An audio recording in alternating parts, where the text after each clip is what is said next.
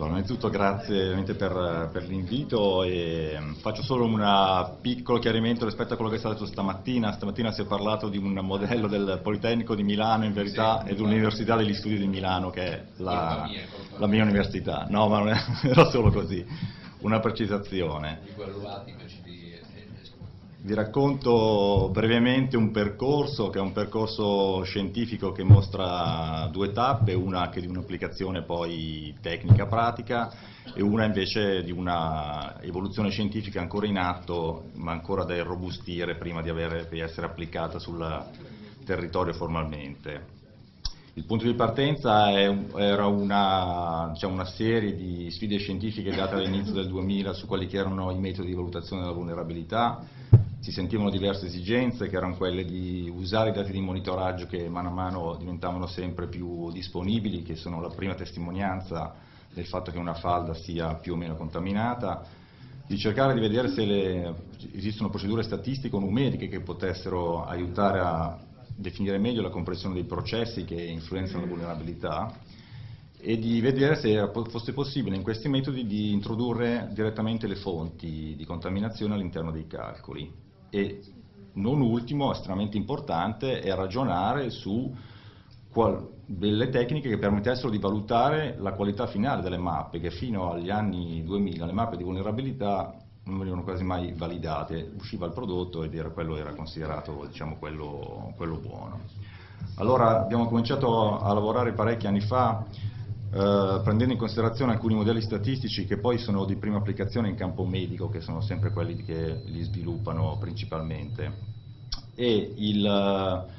questi metodi statistici li abbiamo adattati a quello che è lo studio spaziale della vulnerabilità su un territorio. Su cosa si basano essenzialmente? Si basano sul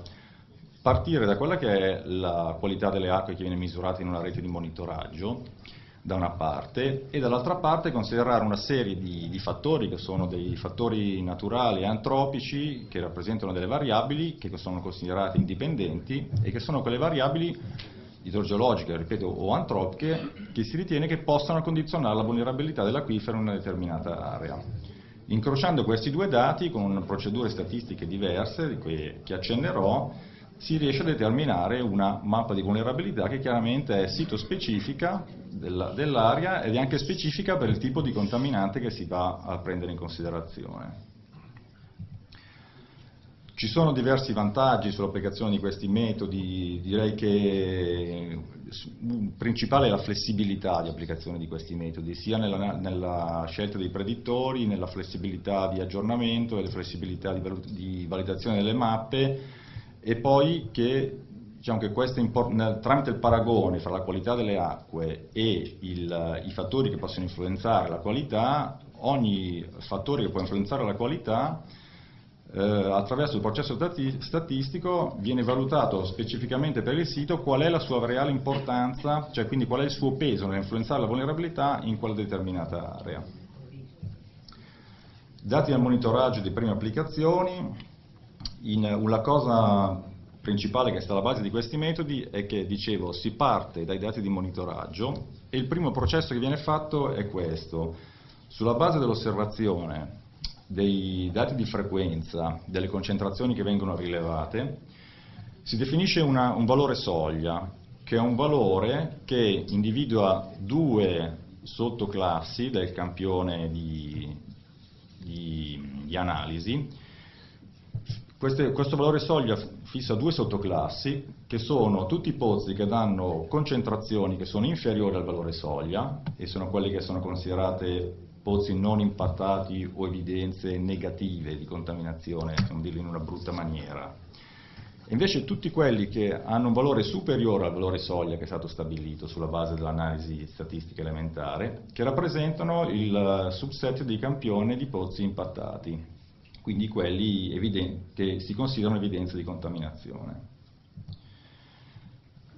Si compara spazialmente come sono distribuiti questi pozzi impattati, se ne prende o tutti o solo una parte, e si compara spazialmente come sono distribuiti in rapporto a una serie di diversi variabili che vi dicevo, naturali o antropiche, quindi sia di tipo idrogeologico ma che possono includere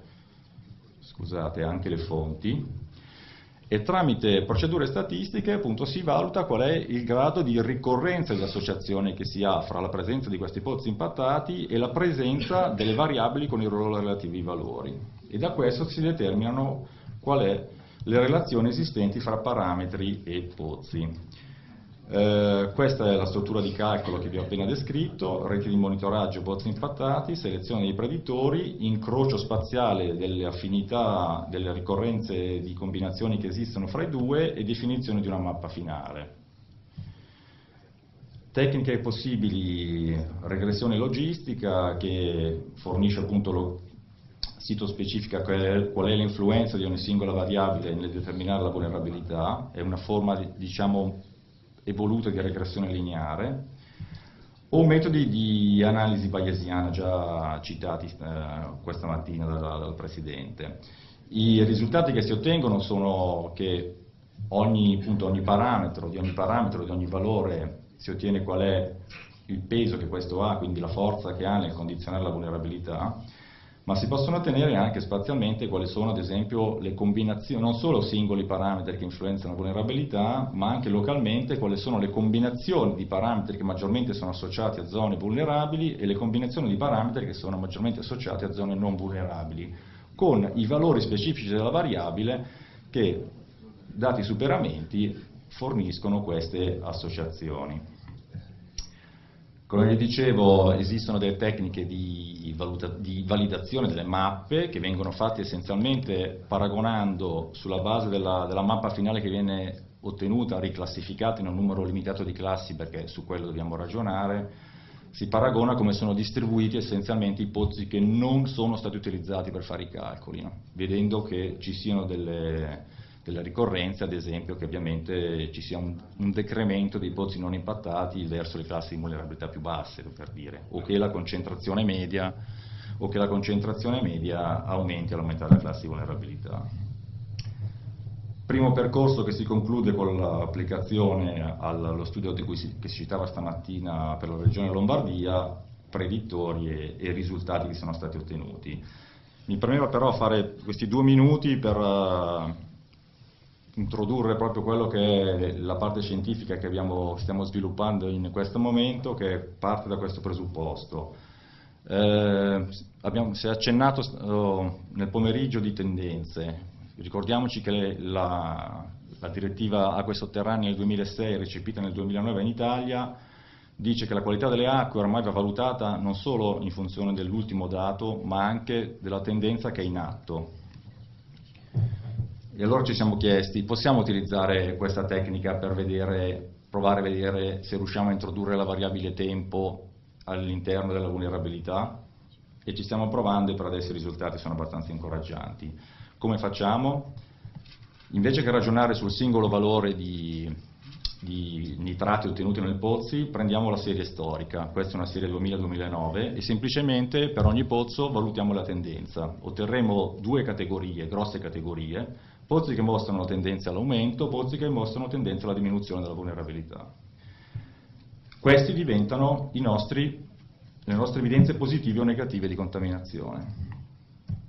Mettiamo, qual è il problema grosso? Che ragionando sul termine tempo dobbiamo selezionare anche delle variabili che nello stesso intervallo di tempo in cui abbiamo accertato i trend devono darci come sia variato un certo fattore all'interno dell'area. E allora cosa succede? I dati geologici Posso ragionevolmente ritenerli costanti perché la condicibilità idraulica della zona vadosa, velocità della falda la soggiacenza cambia un po' ma non molto, quello che cambierà sicuramente sarà la distribuzione delle fonti. Fonti civili o agricolo-zootecnico, per le fonti civili abbiamo avuto la fortuna di accedere a un database praticamente unico eh, sviluppato da NASA che ha una copertura mondiale continua nel tempo dal 2000 al 2009 e che restituisce in pratica a scala del singolo chilometro quadro un valore che è eh, correlato al grado di urbanizzazione dell'area e quindi avendo i dati in serie è possibile stimare quali sono le aree all'interno di una zona di studio dove sta incrementando o è rimasta stabile l'urbanizzazione. E quindi abbiamo anche qui un trend, un trend che possiamo correlare con il trend dei nitrati e chiaramente ragioniamo anche su, nello stesso intervallo di tempo, qual è stata la variazione delle altre fonti, tipo quella di, di riutilizzo tecnici. Combiniamo il tutto e una mappa la, la otteniamo, validata con tutti i soliti processi che avete visto prima. Questo è un percorso scientifico in atto, vabbè, chiaramente pubblicato, anzi in, in stampa, ancora da irrobustire per un'applicazione reale su un caso pratico, però molto promettente. Concludo, più che concludere, a, apro per, per, il futuro con delle parole chiave, che sono quelle che io, quattro, che io ritengo fondamentali per i prossimi sviluppi applicativi e, e scientifici della, della vulnerabilità Tre sono stati già ampiamente introdotti questa mattina dal Presidente, l'importanza della rete di monitoraggio, dell'analisi spaziale e dei dati satellitari, io ci aggiungo quella della variabile tempo che è quella più incombente. Grazie mille. Grazie,